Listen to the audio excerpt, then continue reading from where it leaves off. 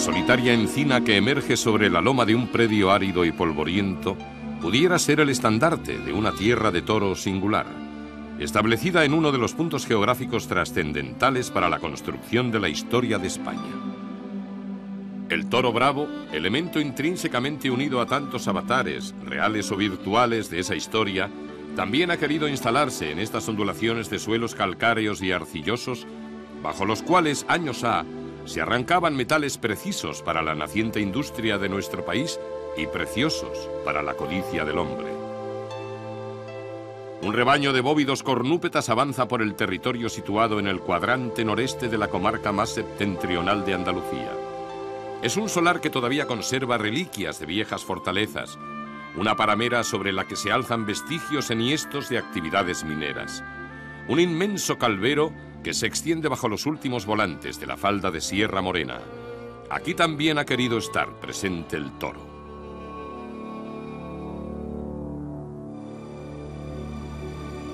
Son unas tierras preñadas de soledades y de recuerdos, insólitas tierras de toros, adscritas al término municipal de la muy noble villa de la Carolina, portillo urbano y principal del acceso a la Bética desde las llanuras de la Mancha. Levantada en un enclave estratégico para el tránsito de norte a sur de mercancías y ganados, los antaño campos minados de la Carolina y sus poblaciones aledañas fueron y son el destino final de un apreciable contingente de reses bravas. Nos encontramos en la mina de la Rosa, el castillo de las Navas, el castillo de Navas de Tolosa. Eh, fue una de las minas más importantes que, tuvo, que tuvo la Carolina y de ella se extrajo el parte del plomo, según todas las personas mayores, que, se utilizó en la, última guerra mundial. Aparte de eso, fue una mina de, la, ruta de la plata, porque en esta mina eran muy ricas en plata. Eh, se, calcula que había una diferencia entre de ley de un 4 y un 6% de diferente con las otras minas. Eh, esta zona fue en su año de aquellos del 27, la Carolina tenía entonces, pues era muy pequeña y llegó a tener 27.000 habitantes. Mantuvo dos, cafés flotantes y, en fin, una cosa de, la cantidad de personas que había en la Carolina trabajando. Pues ahora mismo nos encontramos en, esa mina que es eh, junto y puerta de, de la Carolina es donde está Orellana Perdiz y esta finca pertenece a Orellana Perdiz.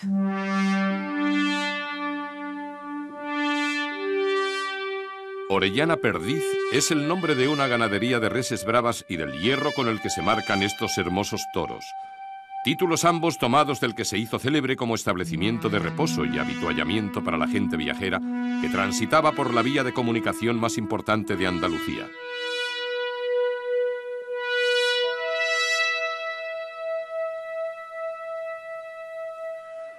Juan Andrés Orellana Molina comenzó a traer ganado bravo a las fincas del entorno de la Carolina en el año 1987, comprando 40 vacas de Martínez Uranga y un semental de origen parladé. Pero muy pronto eliminó el ganado adquirido y rehizo la ganadería con reses de puro encaste murubeño, que es al que pertenecen los toros que se asoman retadores y altaneros desde el refugio de sus cerrados.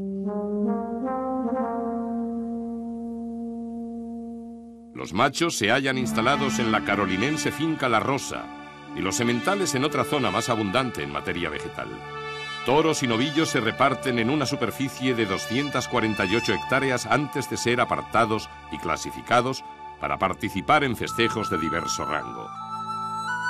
Son toros que culminan la vieja ilusión de un hombre apegado a esta tierra y al contacto permanente con las gentes de Coleta y de Garrocha que durante tantos años recalaron en su ampulosa venta.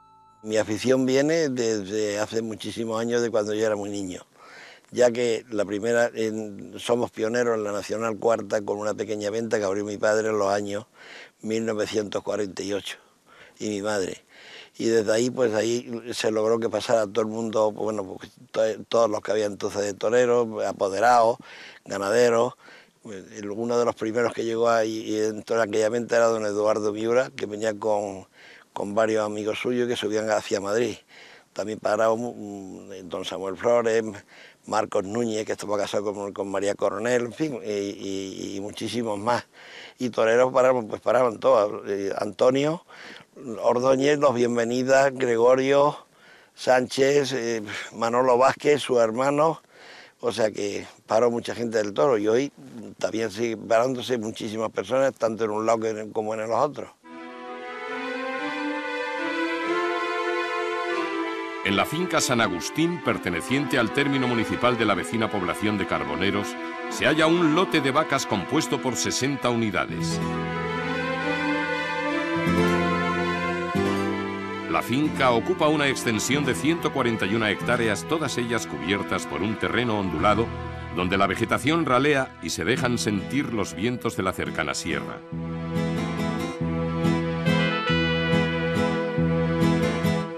Las vacas presentan un magnífico aspecto con sus pieles mulatas brillando a la clara luz de las tierras altas de Andalucía y las cornamentas limpias y largas, apuntando a su cielo, mientras arropan a las crías y buscan verdores comestibles entre el secarral que las encierra.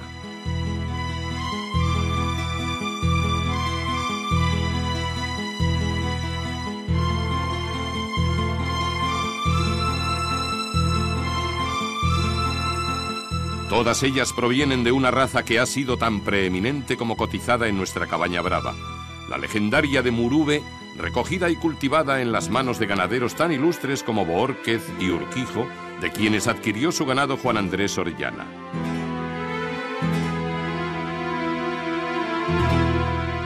Las vacas de vientre que lucen este hierro alcanzan una cifra cercana al doble centenar, distribuidas también en la finca lindera del Pilar, donde se hallan recogidas 40 hembras y en la llamada El Melocotón, que acoge a 90 murubeñas en un terreno más escarpado próximo al Despeñaperros, perteneciente al municipio de Santa Elena.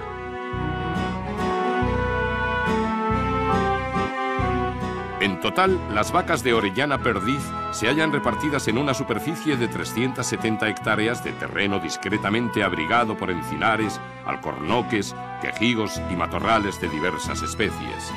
Son los campos de Jaén, que irrumpen a los pies de la morena cadena montañosa, cuya tierra no está dotada para fertilizar los olivares, verdaderos iconos vegetales de su ámbito provincial. Si en él tuviéramos que buscar el icono animal por excelencia, encontraríamos al toro de Lidia y a las vacas que le paren en los alcorques naturales, breñas y ribazos de los cerrados que las concentran. Estamos en la finca San Agustín. En ella hay 60 vacas, procedencia eh, raza Morube, Urquijo. Eh, es una parte donde hay, porque las vacas las tenemos separadas y divididas en tres fincas. Luego está el Pilar, que tiene 40 vacas, y el Melocotón, que tiene 90 vacas, que son las vacas que tenemos de vientre. Aparte luego ya, pues las heradas que están preparadas y para tentar este año.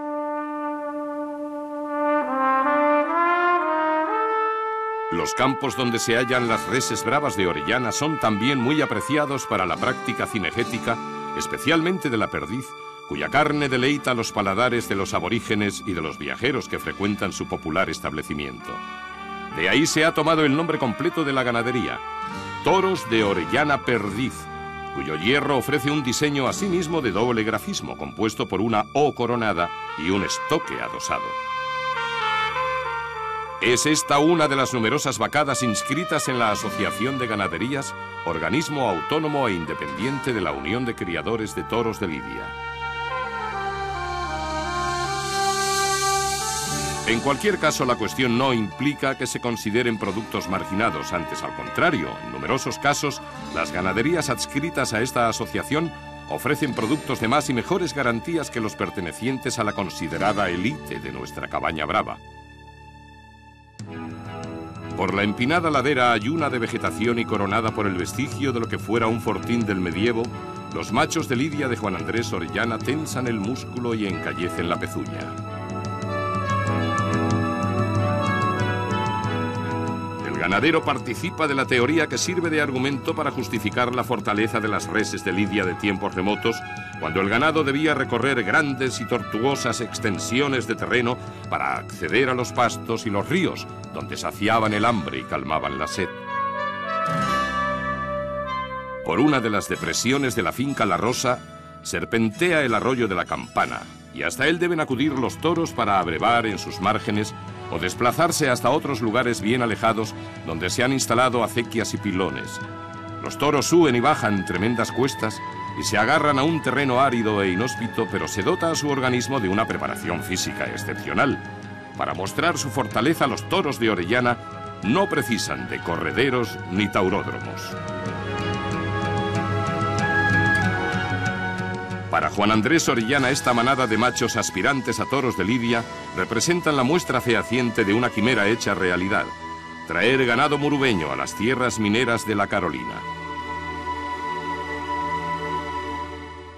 Una afición mía al toro, pues, pero viene a través de Antonio Ordóñez y muchísimos más hombres que le gustaban la raza morube y que me fueron pues un día y otro inculcando a, aquel que se llamaba veneno, que, que hoy pues eh, es eh, que yo sea ganadero.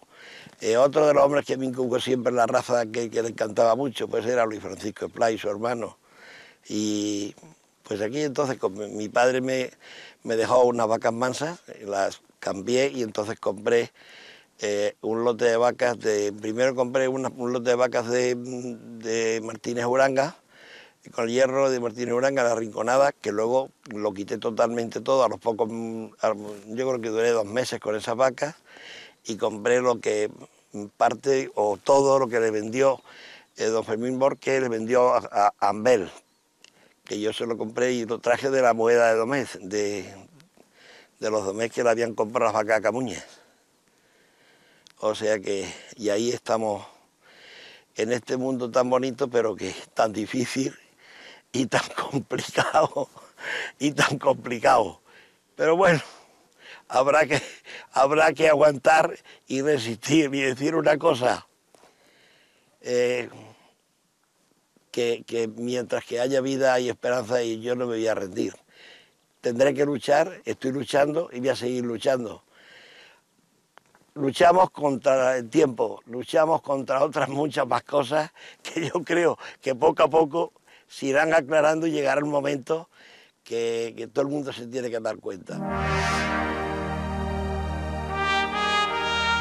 Los tres grafismos del hierro ganadero de Orellana, con la P de perdiz, convertida en empuñadura de estoque, están grabados en los amplios burladeros de una plaza de toros cuyo ruedo tiene grandes dimensiones, que cuenta además con graderíos cubiertos para que en ella puedan celebrarse espectáculos taurinos, incluso los de mayor rango. Al coso taurino no le falta detalle, contando con indelebles muestras de gratitud, recuerdos y efemérides de las que ha sido protagonista. Está situado en un altozano desde el que se llama la atención de quienes recorren esta zona geográfica con el rótulo que cumple la doble función de anunciar la ganadería y establecimiento. Un poco más allá de la plaza encontramos al toro, con su expresión de nobleza y su congénito gregarismo. Ahí van los toros de Orellana Perdiz caminando por el raso que tantas veces envolvió en sus aires aquellos cantes por tarantas que salían de gargantas silicóticas. Aquí conviven los toros corpulentos de testuces rizadas con los novillos que irán reseñándose para los festejos menores. Toros de encaste murube de pieles azabache y cornamentas bien proporcionadas, propulsores de reatas que poco a poco van afianzándose en estas tierras duras de Jaén para ofrecer unos productos bien seleccionados al difícil mercado de los ganaderos de Lidia. Nos encontramos junto al Cerro del Castillo. Es una finca que se llama La Rosa del Castillo y es una finca ideal para el toro bravo. Digo ideal porque el toro tiene que bajar al río a, beber su agua y si quiere comer tiene que andar kilómetros porque tiene que subir arriba. Es eh, bajo escarpado y por eso es una de las cosas que sacan que el toro escale. Que el toro escale y que, como ya se ha visto, también patina, porque cuando lo ves que se, dejan caer por, por veredas que son de cabras, juntando sus pezuñas y bajando hasta abajo. La malformonía del toro morube, para mí, la que más me gusta de todas. Eh, primero, ¿quién no lleva de la ganadería española, lleva dentro de su sangre morube o vista hermosa o parladé? Pero en las definiciones que se hicieron de ese toro, yo me quedo con el morube, morube urquijo. Primero es un toro noble, es un toro que siempre lo ha toreado la figura del toreo, aunque hoy se toree a los caballos. Pero que mm, mm, yo veo mis toros que son mucho más bravos, o tan bravos o más bravos para el torero que para el caballo. Eh, el galopal del, toro de, Morube es, un lujo. Galopa y galopa, es tan bonito verlo galopar que galopa, como decía aquel, como una jaca o como un señor. Pues ese es uno de los vestigios que, a mí me, hacen que yo vaya al Toro Bravo, aparte de los, de los muchos contactos que tuve y que eh, hombres que han muerto, otros que viven, figuras del toreo y que siempre adoraron a, ese toro, al Morube,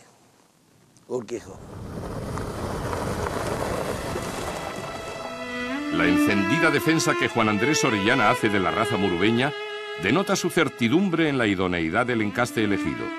Sus toros bien pueden servir de modelo de tan laureada estirpe. Helos aquí, revoltosos y dinámicos, poniéndole ritmo a la armónica secuencia de su tranco, resaltando el músculo acerado bajo la finura de su piel, o calmados y en reposo, enseñando la acabada belleza de su estampa.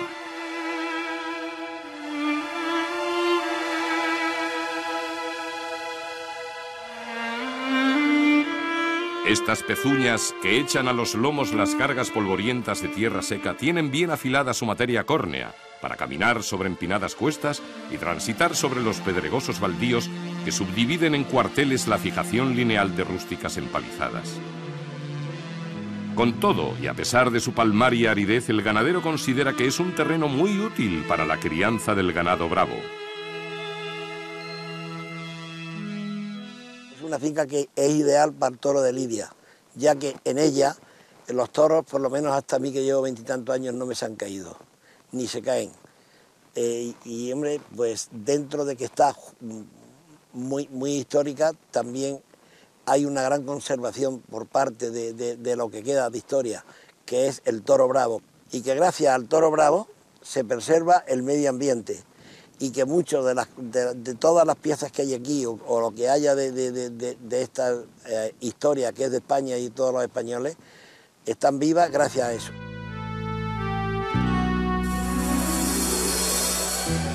Por las inmensas calvas que sirven de corteza a túneles entibados, excavados a golpe de pico y barrena, Trotan en manada los toros de Orellana, vadeando barrancas y rodeando los restos decrépitos de las instalaciones de la que fuera una floreciente explotación minera.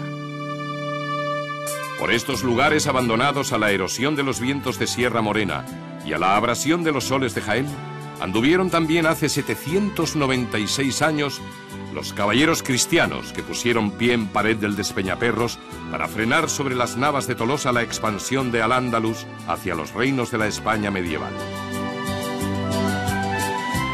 Casi ocho siglos después, los campos de la Bética que miran a la meseta por entre la rendija de un abrupto desfiladero se han convertido en tierra de toros, de toros serios que entrarán bravos al reclamo de la muleta, como una perdiz.